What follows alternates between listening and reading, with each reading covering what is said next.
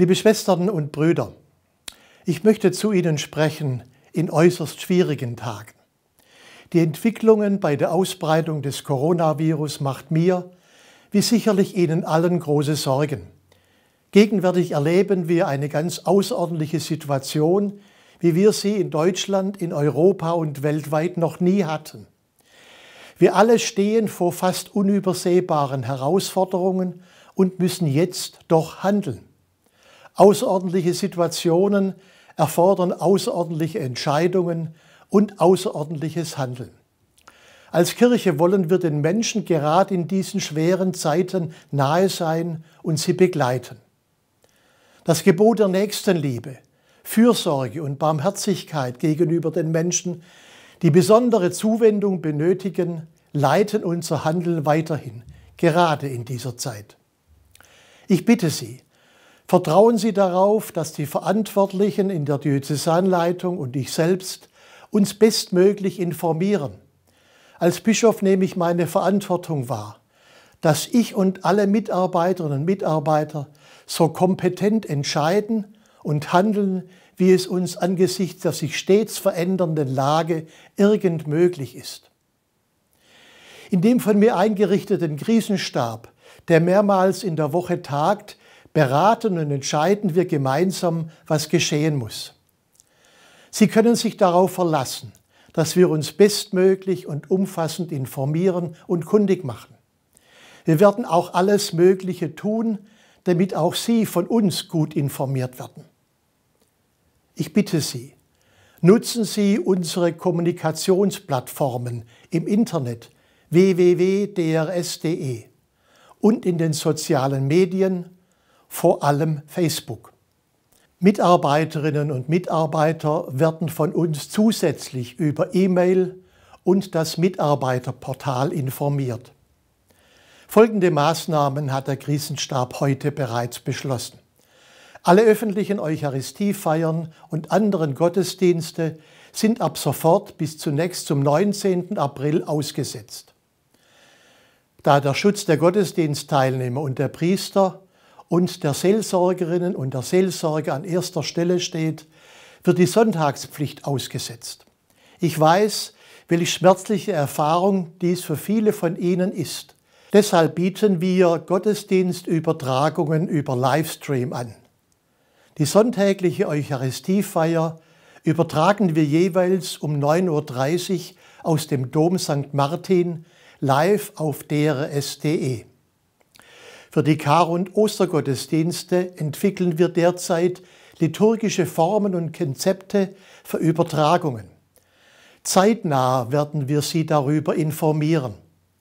Leider sehen wir uns auch gezwungen, die Firmgottesdienste und Erstkommunionfeiern, die für April und Mai geplant waren, auf einen späteren Zeitpunkt zu verschieben.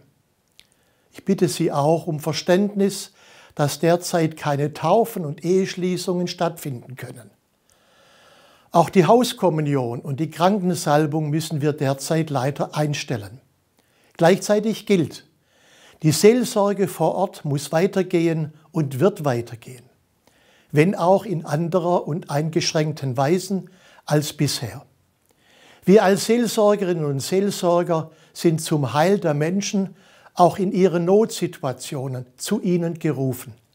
In dringendsten Ausnahmefällen sind deshalb Taufen in kleinem Kreis und auch Krankensalbung und der Empfang der Kommunion möglich. Auch Beerdigungen werden stattfinden, wenn auch im kleinsten Kreis. Die Kirchen bleiben als besonderer Ort der Gottesbegegnung für das Gebet geöffnet. Unsere Seelsorgerinnen und Seelsorger werden auch dort für Sie ansprechbar sein. Am kommenden Wochenende finden in unserer Diözese die Wahlen der Kirchengemeinderäte und Pastoralräte statt. Die Wahllokale bleiben geschlossen. Wir bitten Sie aber dringend, machen Sie von der Briefwahl Gebrauch. Genaue Informationen über den geänderten Wahlmodus finden Sie ebenfalls bei uns im Internet. Liebe Schwestern und Brüder, Seelsorge darf nicht einfach abgebrochen werden. Wir sind von unserer Botschaft gerufen, insbesondere für Kranke, Einsame und Schwache da zu sein. Ich vertraue auf Ihr geistreiches Handeln und Ihre tätige Nächstenliebe vor Ort. Schwere Krisen waren bisher stets Anlass, näher zusammenzurücken. Die Corona-Epidemie erfordert nun insbesondere Vorsichtsmaßnahmen. Viele wichtige und liebgewonnene Bedürfnisse und Rituale sind nun außer Kraft gesetzt. Ich bitte Sie, seien Sie umsichtig im Umgang mit sich und nehmen Sie Rücksicht auf kranke und hilfsbedürftige Menschen in Ihrem persönlichen Umfeld. Halten Sie bitte die staatlich verordneten Schutzmaßnahmen ein. Dazu gehören soziale Distanznahme, also Abstand halten zu anderen Menschen. Vermeiden Sie, wenn möglich, Berührungen. Schütteln Sie zur Begrüßung und zur Verabschiedung nicht die Hand und achten Sie auf eine entsprechende Handhygiene. Bitte achten Sie aber auch darauf, dass niemand aus dem Blick gerät. Trotz der schwierigen und eingeschränkten Lage sind wir gerade jetzt miteinander im Gebet besonders verbunden, als Glieder des einen Leibes Christi. Dabei gilt unsere besondere Aufmerksamkeit denen, die jetzt allein zu Hause sind, gebrechlich, krank oder behindert. Gerade jetzt sind Menschen an Leib und Seele verletzlicher denn je. Seien Sie versichert, als Bischof bin ich bei Ihnen allen, in Gedanken und im Gebet. Wir wollen Gott bitten, dass wir der großen Herausforderung gerecht werden und sie von unserem Gottesglauben her leben. So möchte ich ein Gebet sprechen. Guter und treuer Gott, wir tragen unsere Sorgen und unsere Ängste vor dich und wir bitten in diesen beängstigenden Tagen um deinen Beistand. Gib uns deinen lebenspendenden Geist, der sich uns in Jesus Christus gezeigt hat.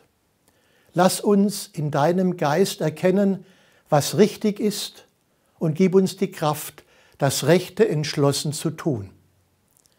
Lass uns die Schwachen, Einsamen, Kranken, die Verängstigten und Bedrückten aller Art nicht übersehen.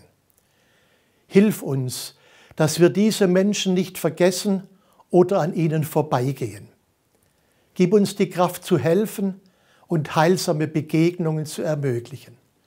Lass sie durch unser Verhalten ihnen gegenüber deinen wirksamen Beistand erfahren.